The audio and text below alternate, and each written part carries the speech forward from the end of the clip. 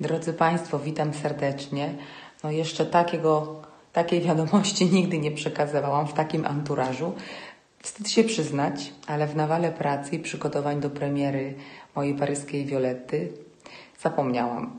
W związku z tym dzisiaj ta wiadomość w mojej łazience Wigilia drugiego spektaklu, który odbędzie się jutro w Operze Paryskiej. Chciałam Państwa serdecznie zaprosić na transmisję oper z Metropolitan Opery z Nowego Jorku. Jestem bardzo, bardzo szczęśliwa, bo w końcu będę miała wielką przyjemność ja również wystąpić dla Państwa w Carmen. E, transmisja w nowym roku, e, mianowicie 2 lutego.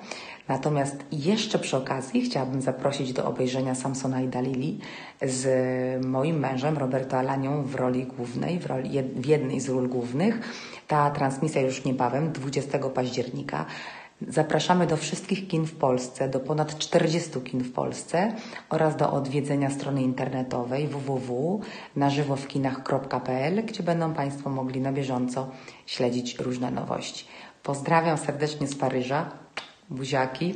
Przepraszam za mój niecodzienny widok, wygląd, ale myślę, że no, jeszcze tak chyba Państwo śpiewaczki operowej Sotę nie mieliście okazji z bliska oglądać. Pozdrawiam jeszcze raz. Dobranoc, a właściwie dzień dobry, bo będziecie jutro Państwo oglądać te filmiki. Pozdrawiam. Aleksandra Kurzak.